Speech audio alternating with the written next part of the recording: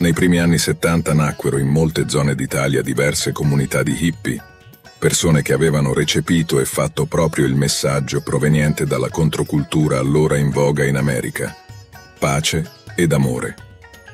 In breve tempo alcune centinaia di persone di diversa estrazione e con diversi desideri si erano ritrovate a vivere in comuni sperse fra i boschi, ad ore di cammino dal più vicino avamposto civile Piuttosto prevedibilmente, così come in America, fin da subito non aveva funzionato.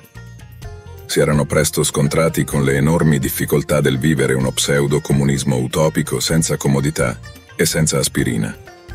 In breve tempo quasi tutti erano ritornati all'elettricità ed all'acqua corrente. Prima se ne andarono quelli che si erano imbarcati nell'impresa con la convinzione di scopare facilmente, poi quelli che avevano semplicemente visto troppe volte il film su Woodstock. Infine erano partiti quelli alla ricerca di erba facile,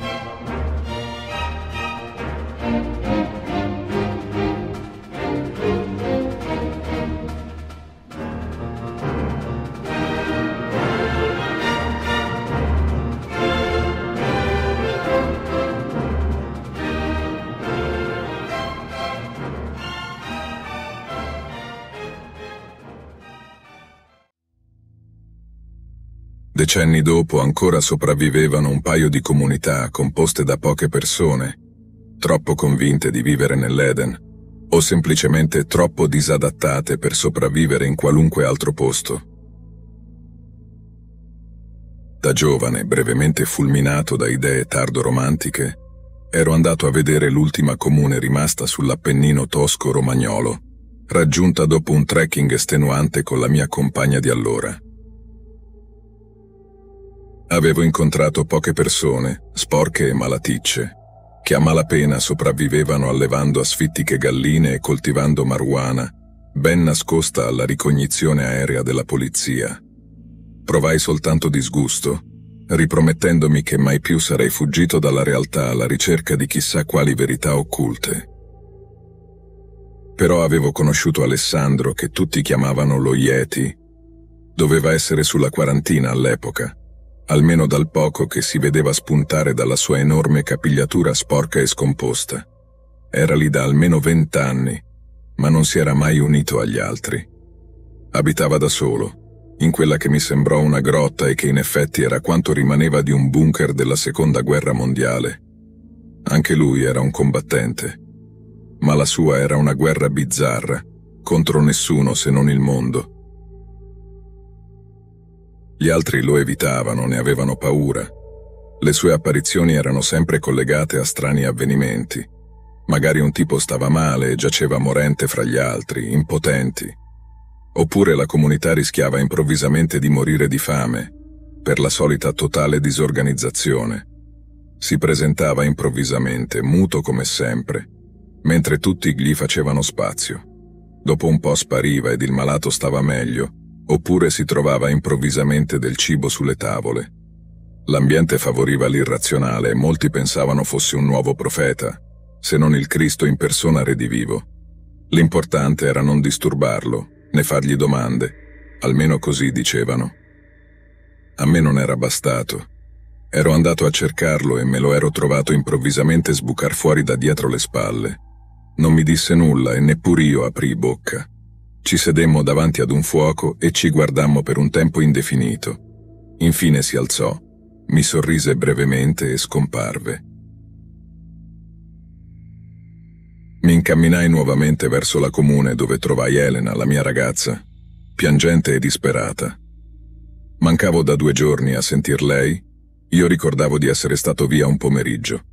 Tornai a casa alquanto turbato. Pensavo alle leggende sugli uomini rapiti dai folletti. Od erano fate? Bah, nel ventunesimo secolo non potevano che essere alieni, casomai. Poco prima della guerra passai per caso da queste parti ed ebbi il forte impulso di sapere che fine avesse fatto quella strana persona.